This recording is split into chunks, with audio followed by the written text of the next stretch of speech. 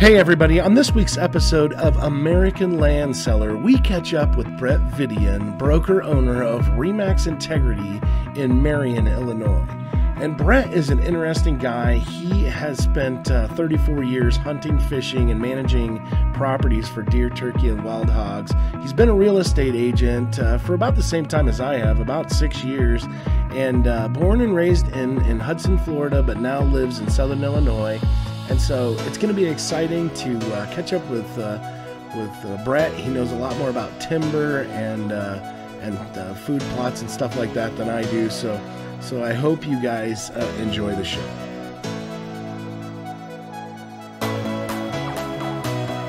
Hello, everyone. My name is Koby Rickardson, and welcome to the American Land Seller Podcast. We are so excited you decided to join us today on our journey to discover new and interesting things about everything land from sales, investments, ownership, regulations, and so, so much more. Our mission is to connect you to the top folks in the country where it has to do with land so we can learn more about everything from agriculture to land development. Okay, Koby and our special guests, let's get started. Hey, everybody, welcome back to the American Land Seller Podcast. I am your host, Koby Rickardson. And with me today, I'm pretty excited um, to have this guy. Um, he's a he's a hunting specialist, uh, a recreational land specialist for sure in Southern Illinois, from Marion, Illinois. Um, it's uh, Brett Videon uh, from Remax Integrity, right, Brett? Brett, I'm sorry. Yes, sir, Koby. How are you doing today? I'm doing pretty good. It's going to be a challenging interview for me because I have an agent named Rhett who just uh, po- poked his head in my office. So I'm like, oh man. Uh, but uh, you know so, me. I answered anything long as it's not late for supper. You know. That's right.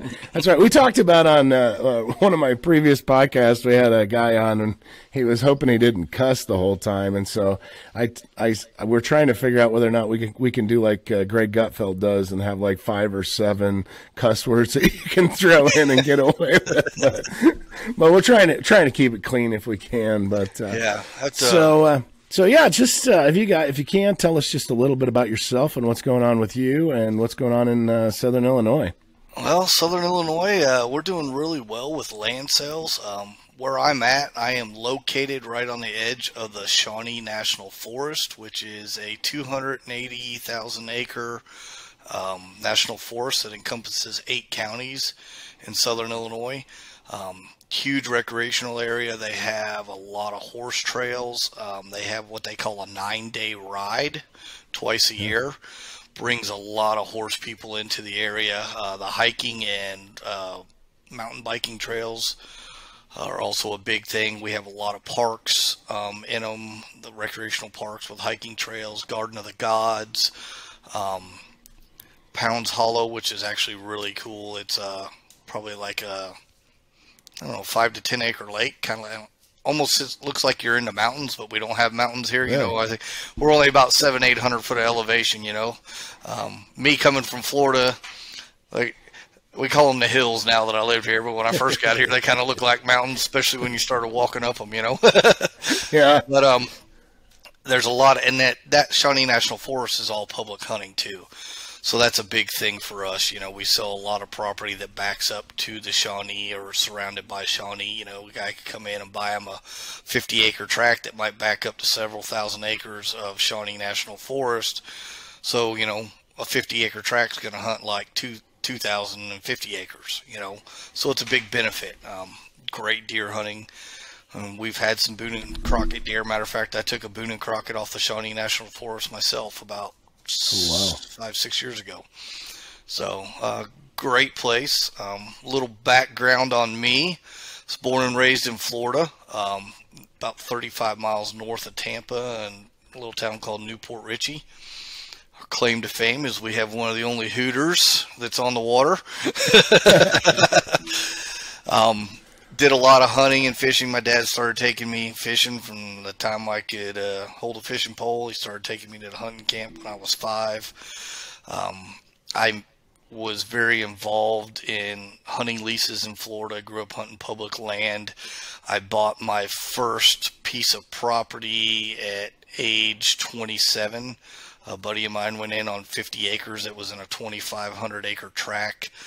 And uh, I got into doing food plots and harvesting uh, a little bit of timber and stuff like that. We went in, harvested some of the young pines, got them out of the way to be able to open up food plots, and I would go up there and plant different types of food plots. Got involved with doing forestry plans, stuff like that, and uh, you know, a lot of people don't think of Florida as a whitetail place, but it was, and we actually produced some pretty good deer off of it. You know, uh, I just had to contend with all the wild hogs. Yeah we uh, we lived down in uh, southeastern Georgia for a while, and I always told the guys down there that they they would go uh, go deer hunting, and I'd say, "Well, that's rabbit hunting where I'm from." But yeah, they do have some down there. They seem like they were a little smaller than what I was used to. But yeah, the body size is definitely different. You know, when you got something that's living off of acorns and palmetto berries, you know, it's it's a big difference compared to eating soybeans and corn. yeah, right. um, yeah. But you know, there is some counties. I mean, if uh, if somebody was looking to invest in some property, Central Florida, uh, Alachua County, if you look at them, they've produced some 150, 160 inch bucks. The soil there is really good. That's one of your areas where they do a lot of row cropping and stuff like that. You get peanuts, some corn, uh, watermelons, cantaloupes, tobacco. That's that's kind of one of your big crop areas. So the soil's really good, kind of um, Alabama, what they call the black belt.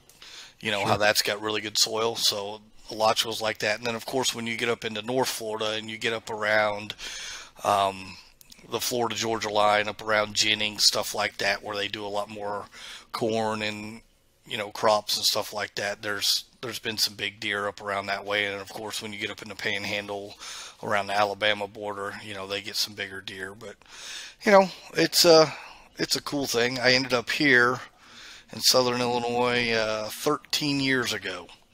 Wow. I worked at the phone company, uh, Verizon. I was a lineman, and I'd been bow hunting up here for a couple years uh, in a little town called Golconda down on the Ohio River banks in the heart of the Shawnee, hunting a farm and chasing those big deer. We'd drive up here and spend a week or two hunting public land, and then we met a farmer and, and were able to hunt his land and public. And uh, when we had the uh, are we allowed to use the word recession? I don't know if that's something yeah. we're supposed to use yet. Yeah, I know, right? So we had the uh, 2008 real estate market crash. You know, everybody knows about that one, and uh, of course, Florida, you know, lived off of real estate and uh, I guess uh, entertainment. You know, people yeah. coming to the area to to visit, and that kind of shut it down and I thought I might possibly get laid off at the phone company, and I started looking around for places to transfer, and lo and behold, was there was one in Marion, Illinois. So is your is your fan is your wife from Florida too? Then and uh, relocated no, her? Or? No, when I moved up here, uh, I mean I was married, and uh, a couple years after we got up here, we got divorced, and uh, I kind of went off and did my own thing, and uh, I met my present fiance through real estate. Oh wow! Believe it or not, yeah. And I was not in real estate in Florida. I got into real estate up here. Uh, I got my license in 2017, so I'm going on six years, a little over six years, somewhere around there. Um, I used to do some uh, Christian ministry through motorcycles, and uh, there was a lady in there who was a realtor, and she found out I had a strong construction background. We grew up in Florida, and all us country folks, we all had trades. I was a mechanic before I became a phone guy, and uh, I had buddies that were roofers and buddies that were framers and guys that do electrical and all that stuff. And that's kind of how I grew up at the hunting camp too. They were all the same way. Everything we did there, all our cabins we built, you know. So it was great, you know. I'm kind of jack all trades, master of none, as they say, you know. Um, but I've got had a pretty good background, so she started dragging me around to houses all the time to look at stuff. And for like two years, she's like, "You should get your real estate license. You should get your real estate license." And uh, you know, the more I thought about it, and you know, working for a corporate company and the good old micromanaging that they yeah. they have, it started getting worse. And I was like, you know, maybe I should. And it, of course, kind of 180 it. Growing up in Florida and watching how Florida developed and built here in Southern Illinois, uh, Marion was like what Florida was when I was a kid, and over the last 13 years, I've watched this place develop and grow like Florida is doing. Not as fast, not as quick. I mean, we don't have 20,000 home subdivisions, you know, but we are getting a lot of subdivisions where they come in and there's, you know, 100, 200, 300 homes. You know, cornfields are being turned into 20 home subdivisions and stuff like that, which I'm sure we'll probably talk about it later. It goes into transitional land properties. yeah. But um, I, I thought, you know, maybe I should get into this real estate thing. And lo and behold, I got into it and found out I loved it. And I have a niche for doing, you know, the hunting and farm properties. And I like doing commercial a lot too. And, you know, we do residential. It's a small rural area, so you kind of got to do everything if you want to make a living in it. But uh, two years ago, I put my faith in God and I walked away from the phone company after 16 years. And me and uh, my fiance Lisa James. We opened up a Remax. We ran it for a year, and then I walked away, and here we are, three years later, living the dream. Yeah, that's cool. And so you did? Uh, did you do like a lot of people? Did you work both places for a little bit while you're trying to get your stuff ramped up? Yes, I did. I spent four yeah. years. I'd probably work 50 hours a week uh, at the phone company and put another 30, 40 hours a week in doing real estate. You know. Yeah. Um, the guys used to tease me I worked with, I'd be hanging 30 foot up in the air off a pole with my Bluetooth working a deal on a house while I was fixing somebody's internet. that's, that's priceless. yeah, I, I am definitely the king of multitasking. That's really good. Well, we're going to take a break right now, um, uh, but we'll be right back with uh, Brett Videon from Remax Integrity, uh, Marion, Illinois. It's been fun talking to him, getting to know him a little bit. And uh, when we come back, I think we're going to talk a little bit about uh, transitioning land and some recreational property stuff. So hold on, I'll be right back. Today's episode is brought to you by Remax Home Farm and Ranch. Remax Home Farm and Ranch is the premier marketing and selling real estate company in Nebraska and South Dakota. You can find all the great Remax agents and their listings at homefarmranch.com. That's homefarmranch.com. Uh, you can look up and see what they're up to and uh, follow along on all the things that they have going on. Once again, this episode is brought to you by Remax Home Farm and Ranch, and you can find their listings and their agents at homefarmranch.com. Once again, home farmranch.com. Brett, you know, uh, you do an awful lot with uh, transitioning land from uh, from like pasture, corn ground, different things like that, um, into like maybe residential lots or commercial lots or, or, things like that. Can you talk just a little bit about the the process with that? What goes into uh, I know there's a lot of stuff that goes into it. I've done some more uh, primitive uh, subdivisions and stuff, but I've never really gotten into the the having to deal with all the the plumbing and the water and all that stuff. So if you can talk a little bit about that, um, that'd be yeah. awesome. Yep, definitely. So I just recently sold a 12 acre piece of property that was all planted in corn and it backed up to a existing small subdivision so there just so happened to be a lift station there for the sewage. So I called an engineering company um, that had engineered that lift station, did a little research, found out that it could support another 30, 40, 50 homes, etc. And uh, so I marketed that 12 acres as a piece of property that could be bought and turned into a subdivision. And uh, I'm in a BNI networking group. Uh, that we do on Thursdays, and there was a builder in there, and I've done a lot of work with him, and he's a um, good builder. So I approached him and said, "Hey, you know, would you be interested in doing a subdivision?" And he said, "Yeah." So I took him out there and looked at it, and uh, we come to an agreement. He bought the piece of property. Um, we had a local engineering company here went in, and we were able to put in two roads and split it up into 30 lots to be able to build 30 homes. Hmm. So the next step was I got a hold of a guy, a friend of mine who does all my excavation work on farms, commercial properties, everything. We got him out there. We looked at it. Um, he's done that before, so he'll be running all our roads, putting in our sewer lines. Uh, we have to get a hold of our local electric company to come in, do the electric. Um, we'll be speaking with the uh, phone company or internet provider company that could come in and set up their infrastructure there to be able to provide internet for those people. Um, and we should hopefully be breaking ground on that here in the next month or so. Um, of course, you got some small municipalities around that you kind of have to go sit down and go through a couple meetings and stuff like that and make sure they're okay with that and get their blessing. Um, you know, as we talked about earlier, this area is growing. So, you know, it's not going to be hard for it to turn it down. They're looking to be able to provide housing for people moving into this area. Um, it's it's really neat. Um, this builder and I, you know, we're friends, so him and I have actually sat down and I've got into the whole construction end part of it with him too. We've actually sat down and designed four different house plans. We have a couple that are going to be in that 1500 to 1600 square foot, three bedroom, two bath. Um, and then we're doing some in that anywhere from 1700 to 1900 square foot where you could bump it up and have a little bit bigger house, maybe a three bedroom, two bath with an office or a fourth bedroom. Uh, we've looked at changing the truss package and being able to do a bonus room over the top of the garage as well. Um, because you're not going to be able to put in like a pole barn or anything like that. The lots are, you know, quarter acre lots is what we have them split up into. Um, so we've kind of come up with that. And then, you know, I had an idea. I said, well, you know, these aren't going to be a custom home. We don't want to get into custom homes, but they're not going to be a spec home bare bones either.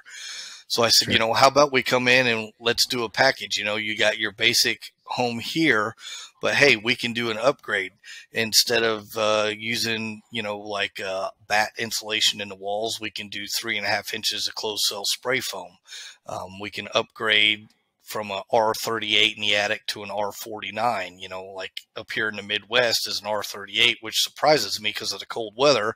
Where I come from down in Florida, we're at an R49. Um, so when I built my house, you know, that's what I had done in it. So we, you know, we have an upgrade package like that. We can go from your standard 19 SEER uh, HVAC system up to a 21 or 22 SEER to make it more energy efficient. Oh. Um, oh. Stepping it up with, you know, uh, have two different sets of cabinets. You know, um, they're still box cabinets, but you know, you can have a higher end box cabinet if you want granite or Corian. We'll have that worked in there. Bump up your uh, trim package instead of doing you know your basic three inch baseboards and, and inch and a half window casings or two inch window casings. You can do a five inch baseboard and a three inch window casing. You know. Um, maybe a little crown molding stuff like that where it pops when you walk sure. into the house and and have that set prices. You know we allow them to have certain colors that they can pick certain colors for the siding on the outside. Um, do you want a stone package you know what they would call an eyebrow up over the top of the front of the two car garage and down the sides and then maybe over on another section of the front of the house? Um, you know, like over a bedroom or something like that. So you have some stone on it, makes it pop. We're trying, we're doing things that nobody else in this area has done, um, and stepping up the game to sure. make sure that we move a lot of properties and give people some options because they really don't get a lot. You know, when it's a bare bones spec, it's, hey, this is what it is take it or leave it, you know? right. So, so what, um, so you're, when you're thinking of this development stuff, I mean, I know like if you watch the news and stuff, all of a sudden you're, you're worried a little bit about what the economy is going to do. Interest rates are going up.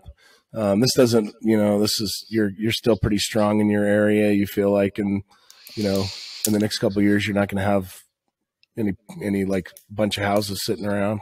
No, um, I don't think we're gonna. I mean, I'm gonna launch an aggressive marketing package, and the first house that we build is actually going to be a model, which nobody's done around here either.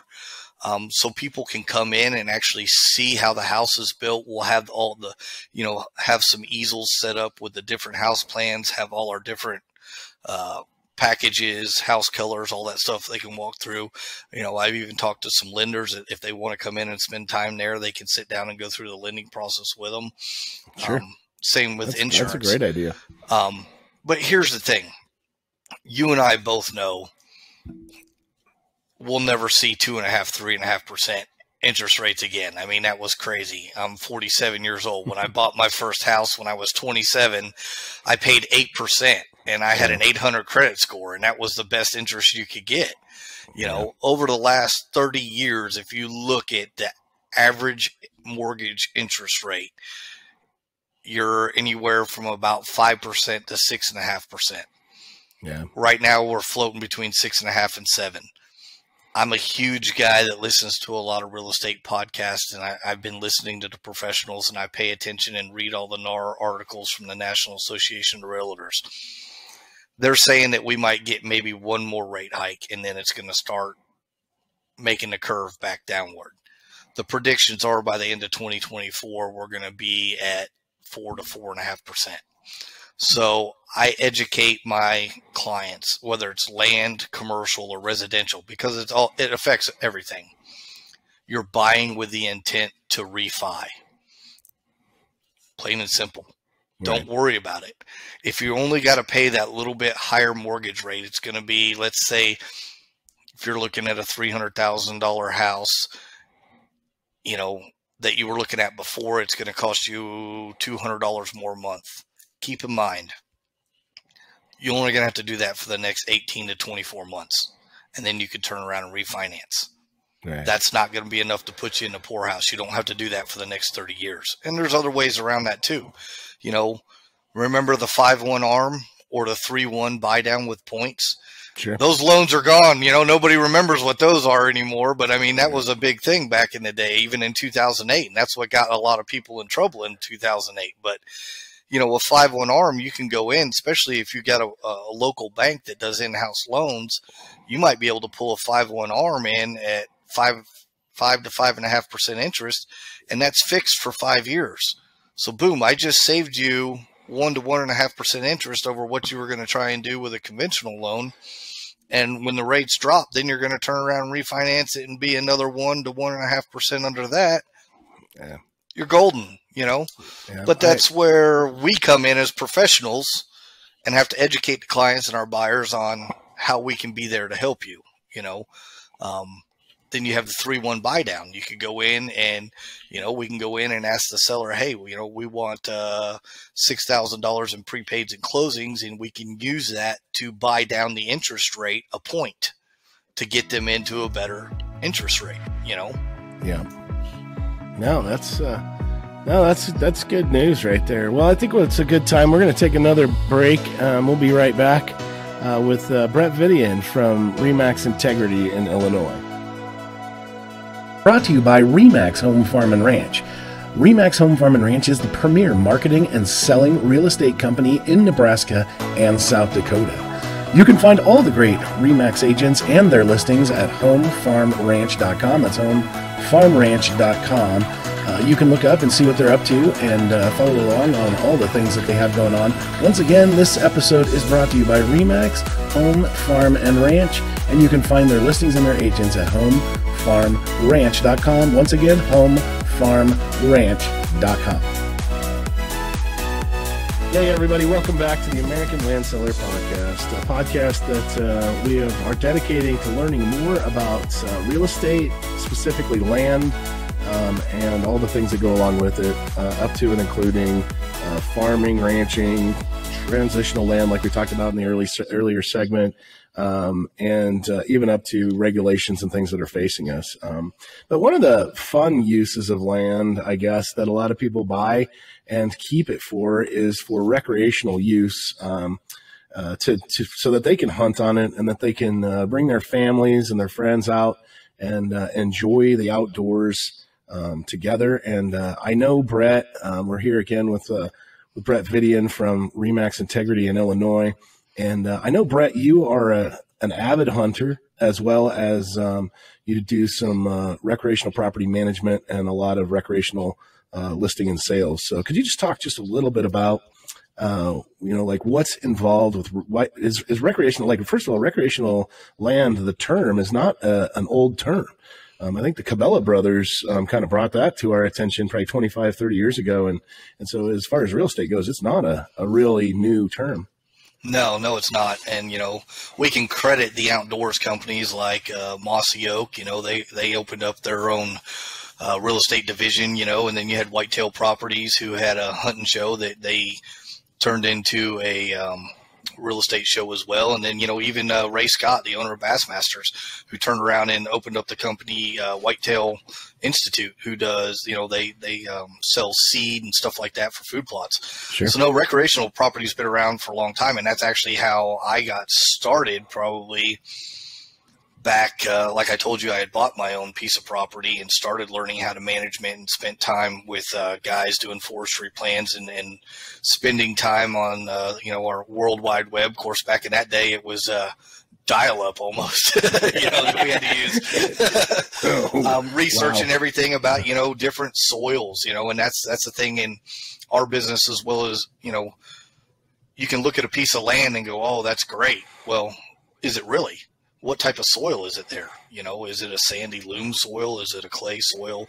What's the surety level to it? You know, um, you know, our surety levels, we have a A, B, C, and D. Um, a, of course, being the highest and D right. being the lowest. Here in Southern Illinois, most of our properties are all a class D surety level, which, um, is not the best, but I mean, a good farmer can take care of his property and be able to bring that soil up and get better yields and stuff like that. Um, as you go further north, you get up into that Bloomington area. I mean, the soil's black; it's rich as can be, right. and you're a Class B surety level.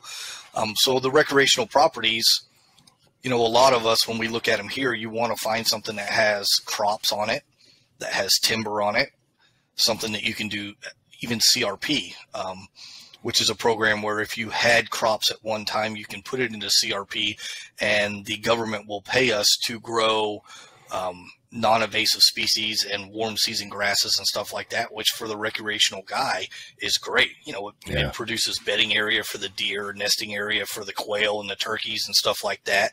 Um, and then you get money to help pay your taxes when you buy a piece of property.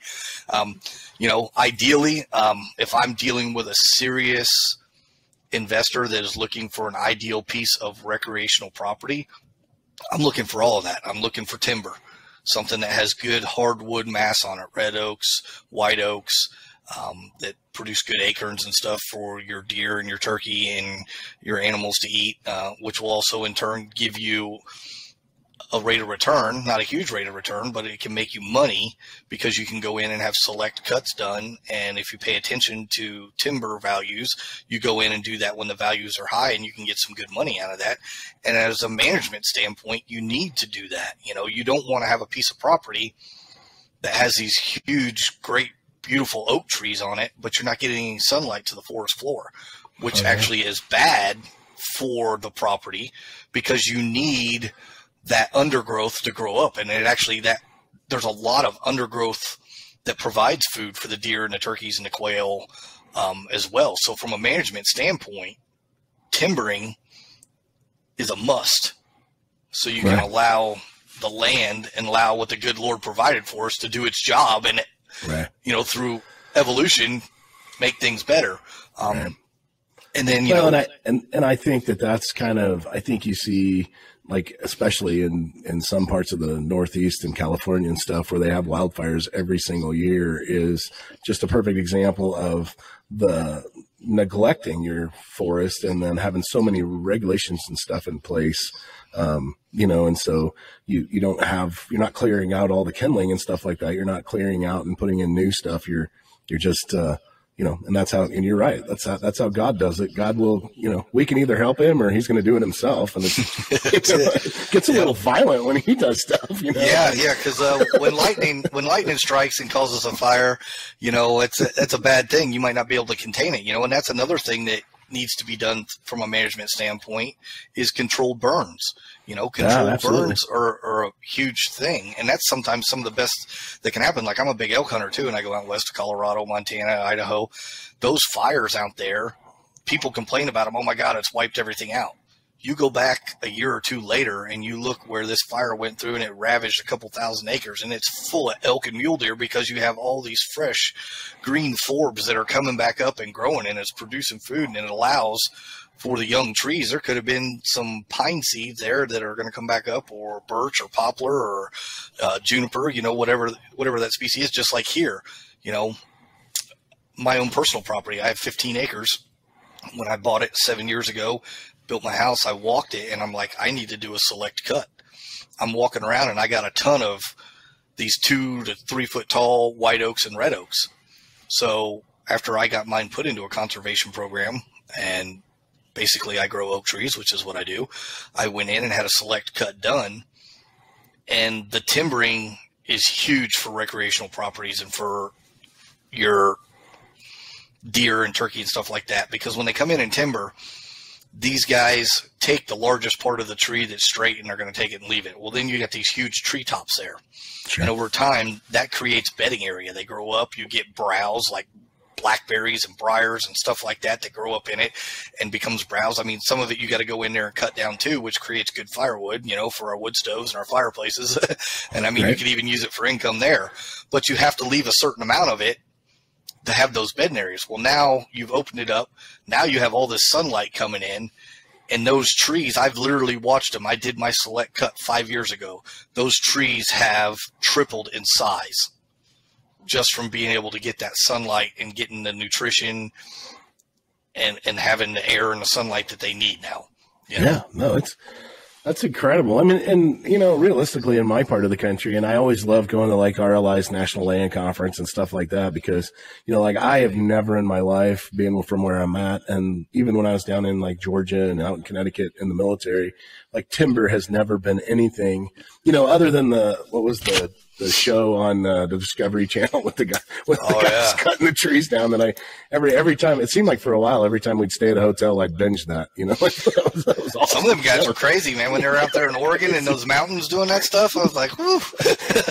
yeah, those guys are nuts. These these guys, I think, were from like Georgia or Alabama or somewhere down the southeast, but they were fun to watch. But you know, it's just like that's why I love uh, reaching out to people like you uh, Brett, and just talking to you about your experiences because that's something I have no experience over, and you know I hear about it a lot. You know, just since I've gotten involved in real estate and in a, a more broad land, um, you know, aspect instead of just the the local area, um, and and so it's been pretty fascinating. So, uh, just to you know, we're getting close to the end, but I wanted to just talk to you a little bit about what you have going on right now.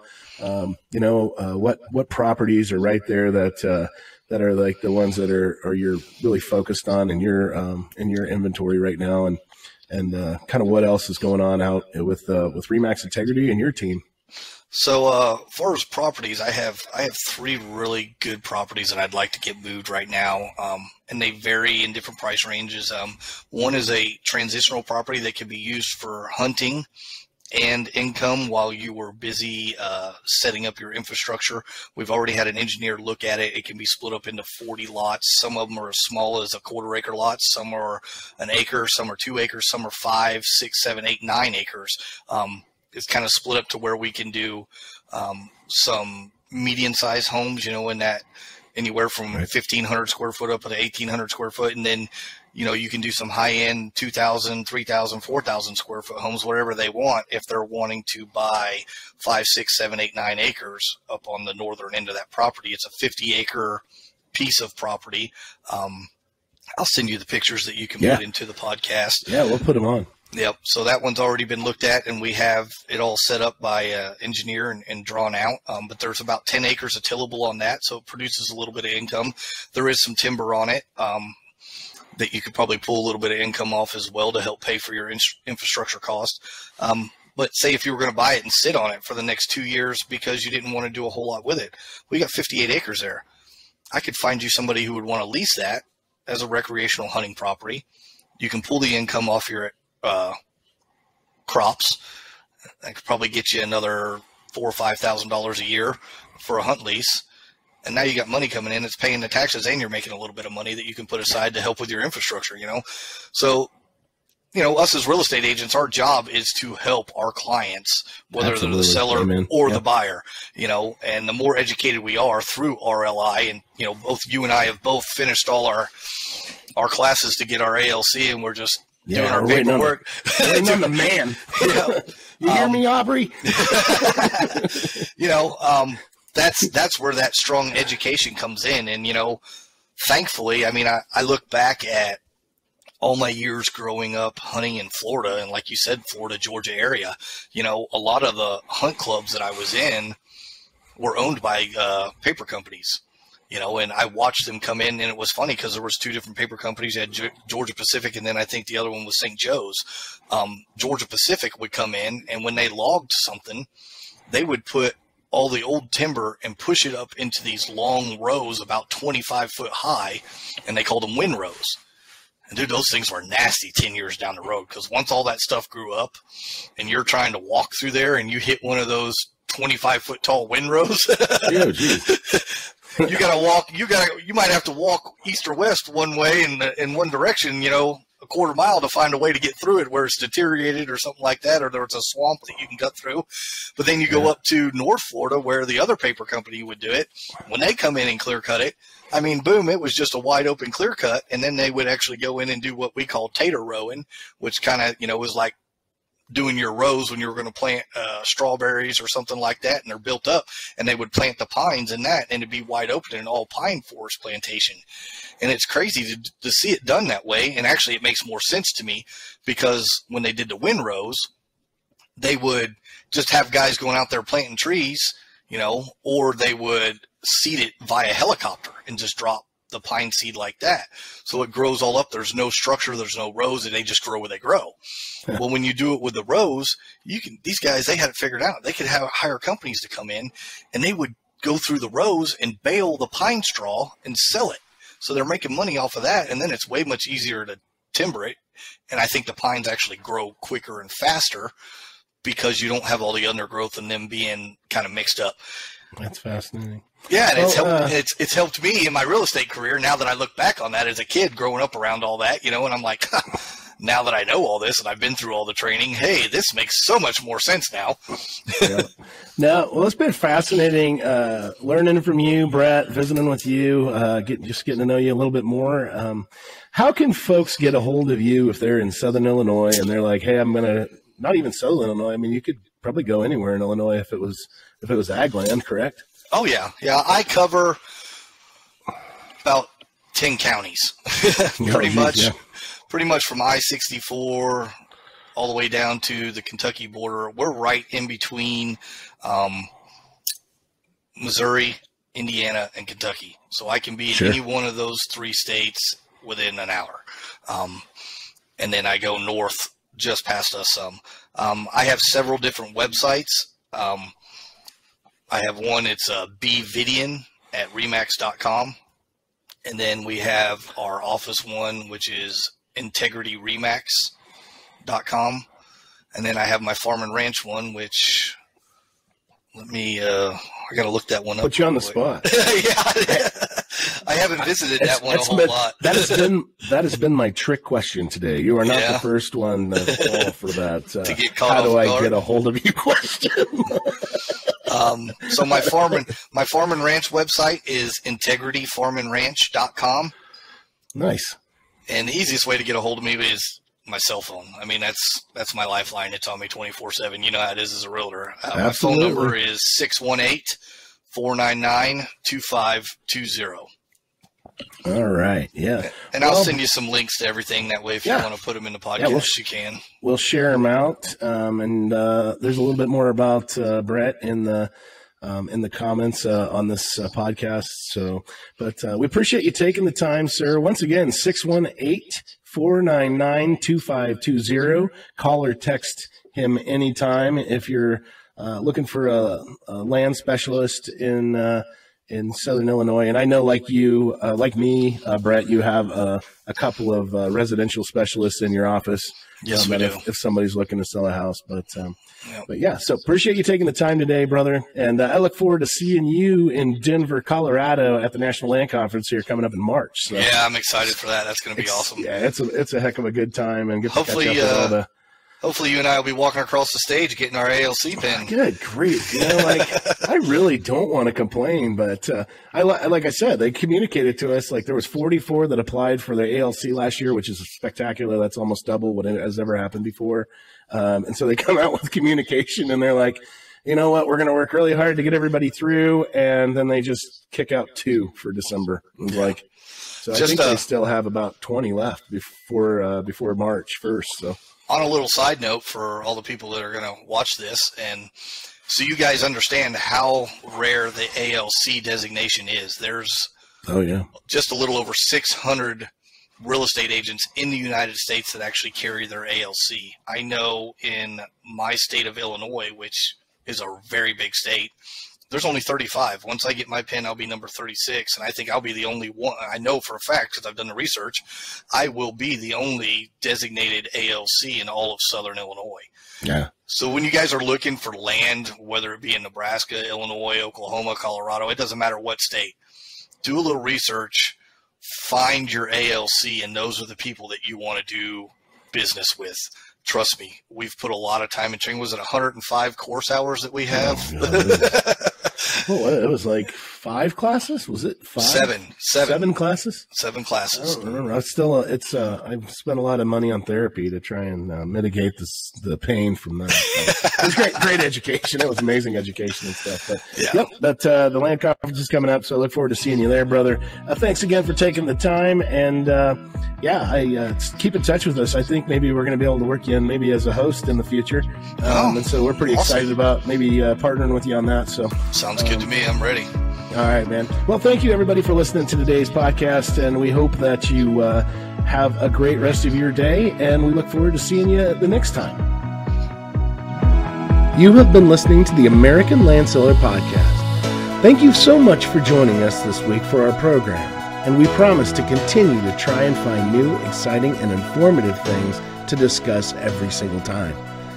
If you would be so kind, please like, subscribe, or follow whatever works on the app you're listening or watching on. We would love for you to keep track of what we're up to. Thanks again, and until next time, God bless you. Have a great week. Today's episode is brought to you by Remax Home Farm and Ranch. Remax Home Farm and Ranch is the premier marketing and selling real estate company in Nebraska and South Dakota. You can find all the great REMAX agents and their listings at homefarmranch.com. That's homefarmranch.com. Uh, you can look up and see what they're up to and uh, follow along on all the things that they have going on. Once again, this episode is brought to you by REMAX Home Farm and Ranch, and you can find their listings and their agents at homefarmranch.com. Once again, homefarmranch.com.